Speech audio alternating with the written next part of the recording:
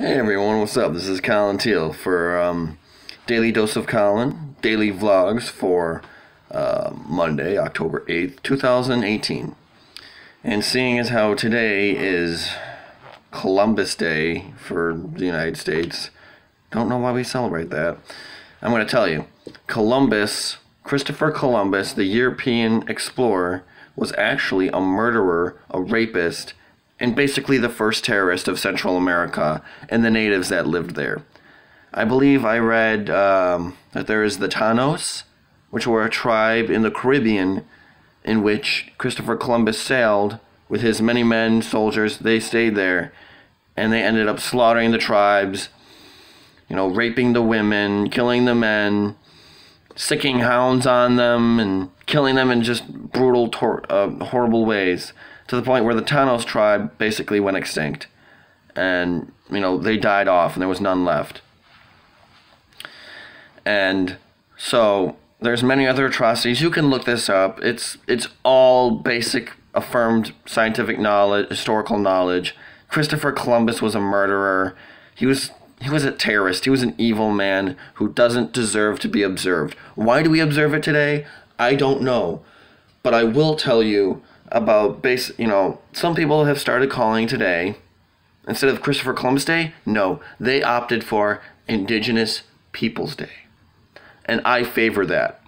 Because not only did indigenous tribes, such as the ones in America, have extensive knowledge about cultivating crops, you know, and, and expert cultivation and expert survival skills, they also had, a lot of them, had expert knowledge of the stars and of various other non terrestrial celestial body things. Good example the Dogon tribe. Now, some of you may know about the Dogon tribe, but for those of you who don't, excuse me, um, the Dogon are a tribe that lives in a desert, in a desert land of Mali, near the border with Burkina Faso. So they live near they live in the desert lands of Mali in Africa. So now on to the extensive astronomical knowledge. And I am quoting from a site here, which I will include in the description so you can see where I get my sources. It says, um, but the, and I quote, but the thing that most struck the two scholars was the finding that despite the Dogon having come into contact with our civilization in fairly recent times, about the beginning of the century, they possessed incredible scientific and astronomical knowledge. Some of this knowledge was certainly the result of a cultural heritage that is millennia old, but one element in particular was decidedly has decidedly current characteristics. The detailed knowledge of the star Sirius. The Dogon were in fact aware of the fact that Sirius is a binary star system. Binary system, actually i.e., a system consisting of two stars, Sirius A and Sirius B. They were aware of the fact that Sirius B revolves around Sirius A with an elliptical orbit and over a period corresponding to 50 years. And the most disconcerting discovery was that the Dogon knew the exact position of Sirius A within the ellipse. How did these tribes that were millennia old know this knowledge without astronomical instruments such as telescopes or satellites.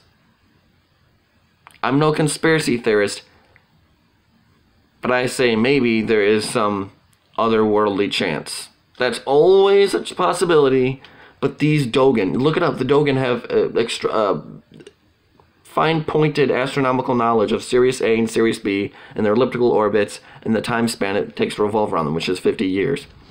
Not only did these tribes have astronom- have knowledge of the stars way before we even knew about these stars, way before we had the knowledge of them. Like I said, included before, they had expert knowledge of cultivation. They were in peace with their atmosphere, with their surrounding environment. They, they didn't take way too much, and in fact, some of the um, uh, American native tribes um, they were concerned with how they left the land for the next seven generations. So they were very conscientious of taking care of Mother Earth and they were very knowledgeable in what they knew. And therefore, I I prefer to call it Indigenous Peoples Day. So my brothers and sisters, fellow viewers, happy Indigenous Peoples Day. And to all of my you know fellow native people out there who have either ancestral or who actually live on reservations and tribes, I'm I'm sorry that we celebrate Columbus Day. Trust me, I didn't pick it. I think it's terrible and evil as it is. He was an evil person as it is. But the main point is happy indigenous peoples today. To all of my native viewers, to all of the Native Americans, today you are honored. Today you are celebrated. Today I give my respect, my honor, my thanks and my gratitude to you. And if any of my native friends have you know, have, have if they, any of you have facts about ancient knowledge that, you know, any knowledge about cultivation, anything, and any knowledge about facts about the stars that you guys knew millennia before the Europeans knew about them, send a message in the comments. I would love to hear these interesting discussions. Let's get a discussion going, all right, my friends? So thank you very much for watching my Monday, October 8th, 2018 vlog. Happy Indigenous Peoples Day. Bless all of you. May you all be happy and peaceful. And I will see you on Tuesday's vlog. Peace!